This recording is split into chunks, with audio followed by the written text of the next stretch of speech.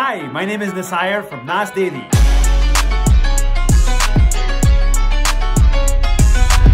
Welcome to World Economic Forum at Davos.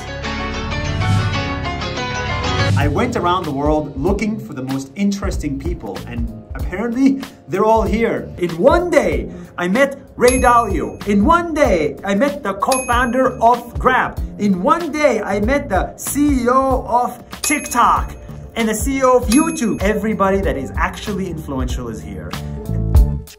The most interesting people are here.